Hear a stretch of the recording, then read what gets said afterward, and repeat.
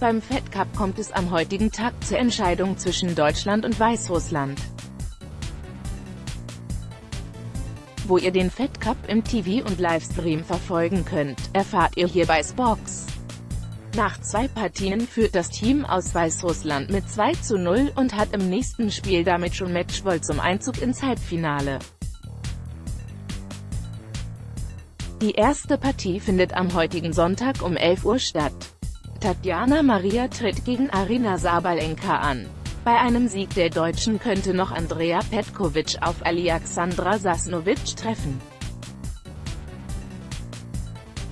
Als Abschluss würden Laura Siegemund und Annalena Grönefeld gegen Viktoria Azarenka und Ligia Marosava spielen.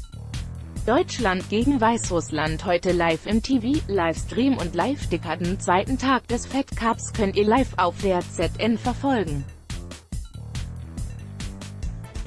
Um 11 Uhr startet die Übertragung mit folgendem Personal.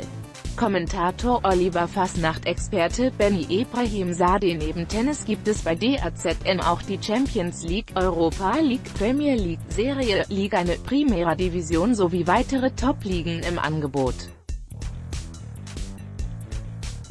Für nur 9,99 Euro im Monat kommen auch Fans des US-Sports Darts, Boxen sowie weiterer Sportarten auf ihre Kosten.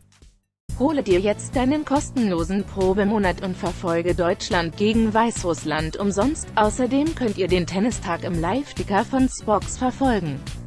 Punkt. Fed Cup, Deutschland gegen Weißrussland, die Partien im Überblick. Deutschland-Weißrussland Ergebnis. Tatjana Maria Alexandra Sasnovic 6 zu 7, 3 zu 6 Andrea Petkovic Arina Sabalenka 2 zu 6, 1 zu 6 Tatjana Maria Arina Sabalenka Andrea Petkovic Alexandra Sasnovic Laura Siegemund Annalena Grönefeld Viktoria Azarenka Ligia Marosava